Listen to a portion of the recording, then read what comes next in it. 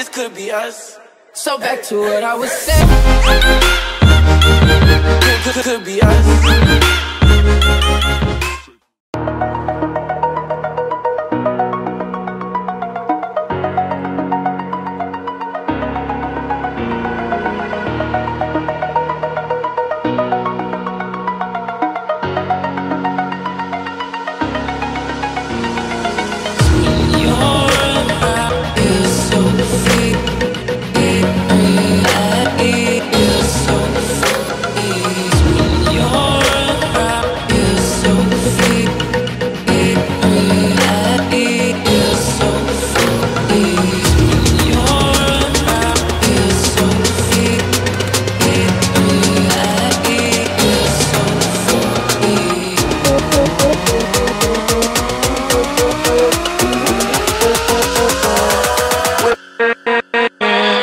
With